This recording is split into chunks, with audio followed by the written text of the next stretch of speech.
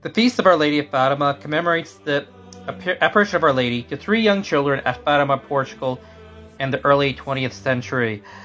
Our Lady came to ask for prayer for for prayers to be made on the first Saturday of each month, aka the first five, five Saturdays prayers where you go to confession, receive communion, say a rosary, and spend 15 minutes with Lady meditating upon the mysteries of the rosary in reparation to outrages against her Immaculate Heart and also for the Pope ultimately to consecrate Russia to the Immaculate Mary so that it would not become a means of torment for the rest of the world.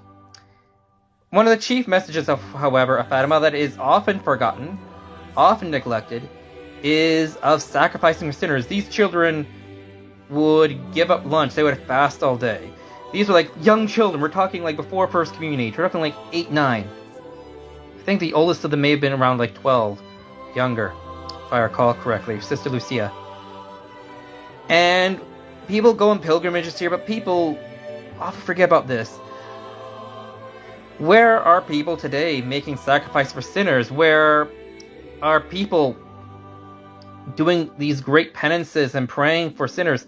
Where, pe- where are the Tralicats doing anything, really, to evangelize or for non-Catholics? Like, who did the, the first the chief, chief thing that bothered both the Virgin Mary and the children of all the visions was the vision of hell. Our Lady does not want people to go there, but people will go there because no one is praying for them. To anyone watching this, when was the last time you prayed for a non-Catholic? Ecumenical Council of Florence, outside the church there's no salvation. Infallibly defined. Same thing, what I'm saying, when was the last time you said a rosary for conversion of mortal sin? These things have been forgotten in the church at large, even among traditional Catholics. Where are the penances you are doing on this feast of Our Lady of Fatima? Check out NSSP.